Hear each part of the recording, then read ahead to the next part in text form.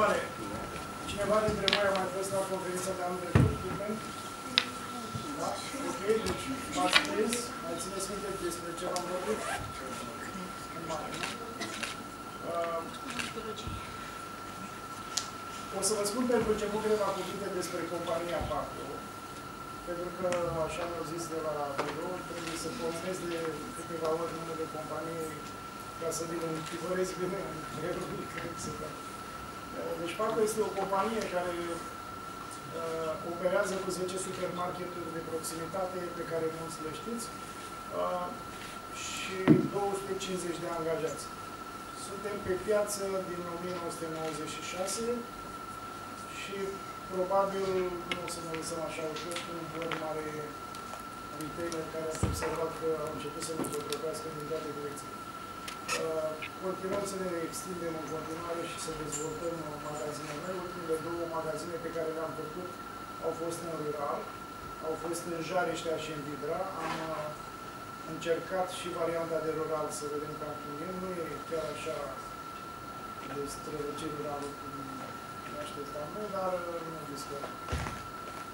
Uh, astăzi aș, aș, aș vrea să vă vorbesc despre, să vă clarific mai bine spus în minte, uh, cam ce ați putea să faceți voi în viață sau care va fi cumva direcția voastră pe viitor, că probabil uh, nu știți foarte sigur unde sunteți și unde vreți să ajungeți după ce terminați liceul, după ce terminați o facultate. În primul rând, vă recomand să terminați liceul, evident, să luați bacul și să faceți o facultate. Vă recomand din tot sufletul chestia asta. O să-mi dați dreptate mai târziu. Fără o facultate, nu reușiți să treceți în viață de un anumit nivel. E un prag în viață care face diferența între oamenii cu liceu, cu sau fără bani și oamenii care au făcut studii superioare.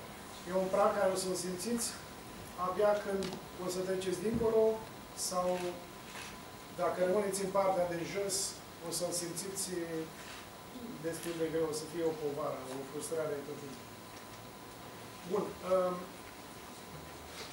știe cineva dintre voi ce vrea să facă și are un argument sigur și știe exact direcția pe care, pe care o are în viață. Cineva vreau, eu vreau să mă fac doctor. Știți? Aveți cumva deja ideea despre unde mergeți, ce o să faceți sau încă vă mai gândiți, încă mai taponați piața și nu? o parte dintre voi cred că știți. Uh, o să încep foarte simplu. Toate meseriile din lumea asta se împart, pot fi încadrate într-un cadran. E o teorie care se numește teoria lui Kiyosaki, o teorie foarte, foarte des întâlnită și vă pune și vă face mintea foarte limpede din ceea ce privește ce se întâmplă în lumea asta cu modul tău de a fi și de a lucra. Imaginați-vă un cerc pe care îl tăiem în două pe diagonală, după care pe vertical și o să-l mai tăiem o dată în două pe diagonală, pe diametru, pe uh, orizontal. Uh, diametrul vertical, uh, țineți în minte, un pic mai înroșat decât uh, cel orizontal. Am creat, prin cercul ăsta, patru cadrane mari.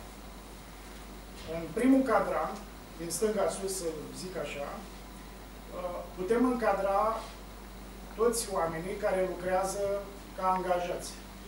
Acolo stau angajați. Acolo veți găsi pe toți care se duc la serviciu la ora 8, beau cafeaua, iau o pauză de masă, la ora 4 au terminat, au zile libere de la stat, au salariu fix, nu pot pleca de la serviciu, concediu e stabilit, fix, oricum, o să vorbim mai târziu despre fiecare cadran în parte. În cadranul următor, în cadranul 2, de sub cadranul 1, se găsesc cei cu meseriile liberale Se găsesc medicii, uh, avocații, uh, sunt oameni care au o anumită libertate în ceea ce fac, își permit să lipsească o zi, două de la serviciu, uh, își permit să lucreze mai mult pentru că vor avea încasări și camuri mai mari. Au o, un grad de flexibilitate mult mai mare decât cei de cadranul, care cei de cadranul sunt destul de legați și de fixați în, în, în meseria lor. Acum, trecând de diametru gros vertical în partea cealaltă a cadranului, uh, cercului, în partea de sus găsim un cadran unde se află toți oamenii de afaceri, oamenii care au un business. Nu contează dimensiunea businessului, contează să aibă un business și contează ca altcineva să lucreze pentru ei. Nu contează că lucrează 1, 2, 5, 100, 200, 1000. Contează că altcineva lucrează pentru ei. Oamenii din cadranul ăsta au o mare libertate. Eu mă situez în cadranul ăsta, în cadranul 3 și uh, vă țin prelegerea asta pentru că aș vrea să văd pe toți în cadranul ăsta, pentru că eu mă simt foarte confortabil aici. Deci, în cadranul ăsta, cine stă acolo are o libertate mare. Poate să plece când vrea, unde vrea, pe o perioadă finită, țineți cont, pe o perioadă finită, adică eu nu pot să plec de la serviciu mai mult de 3 săptămâni sau o lună de zile, fără să se întâmple ceva rău. Aici e problema, că nici eu n-am o libertate așa de mare și nu sunt așa de, de liber ca cei din cadranul următor de care am să vă vorbesc un pic mai târziu. Uh, în cadranul ăsta, trei marele avantaj este faptul că nu depinzi de starea ta de sănătate, care este un lucru extrem de important. Dacă țineți uite, primul cadran, angajatul efectiv, dacă se îmbolnăvește, are grijă statul de el într-o oarecare măsură, pentru că dacă trebuie să faci un RMN, statul oricum te pune să plătești. Uh, în cadranul 2, la fel, uh, dacă avocatul nu mai poate să lucreze pentru că a avut un accident de mașină, nu mai încasează nimic. În cadranul 3, unde stau oamenii de afaceri, acolo, chiar dacă ai o problemă de sănătate sau orice fel de problemă, oamenii muncesc pentru tine. Ăsta este marele avantaj al cadranului 3. Nu vă, spun, nu vă spun faptul că există și cadranul 4, cel mai fabulos și cel mai visat de toată lumea. În cadranul 4 stau investitorii. Sunt oamenii cu bani foarte mulți care au reușit să se așeze într-o zonă în care ei nu mai au nici cea mai mică influență asupra banilor lor, asupra modului cum sunt organizați, cum se înmulțesc. Ei au oameni angajați care muncesc pentru ei, pentru el, ca, pentru ei ca să poată să-i producă și să-i multiplice bani. În cadranul ăsta îl găsim pe Țiriac, Becale, toți oamenii de afaceri foarte puternici, vă dați seama că Țiriac nu mai stă el să se mai ducă la serviciu, să-și vadă angajații să le pună fiola dacă au băut sau nu, sau... El are niște consilieri personal care se ocupă de toți banii pe care i are. El doar îi cheamă o dată pe an sau de două ori pe an și începe să ia la întrebări. Măi, v-am dat nu știu câte milioane de euro, ce profit ați adus? Cu cât mi-ați crescut mie banii ăștia? Toată lumea vrea în cadranul 4. În cadranul 4 uh, nu poți să ajungi decât dacă muncești foarte mult, trecând din 3, sau dacă te-ai născut acolo. Acolo, dacă tăticul e în cadranul 4, și ești copil cu minte și ascultător, tăticul te ține și pe tine în cadranul 4. Dacă nu, îți dă un șut și spune, du-te, fă-ți banii Acum,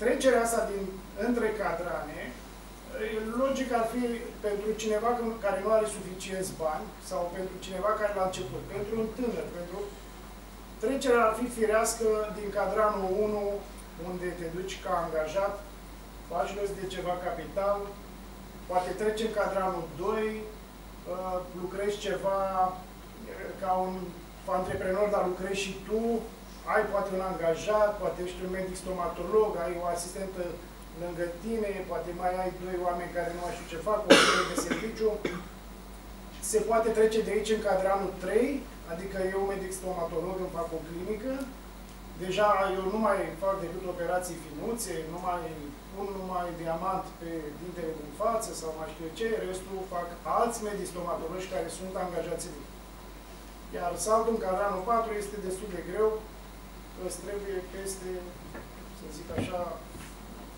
10 milioane de euro ca să poți să zici că stai acolo.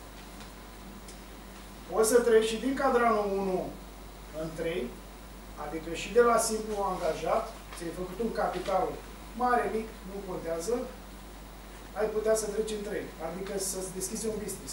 Un business cât de mic, nu contează.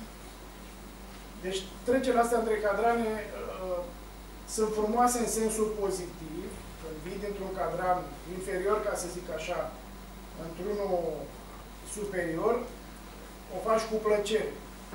Când pici din cadranul superior într-un cadran inferior, o faci cu durere în suflet.